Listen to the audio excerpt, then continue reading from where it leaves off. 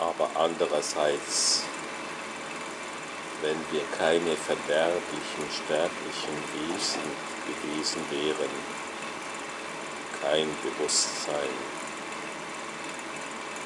kein Bewusstsein.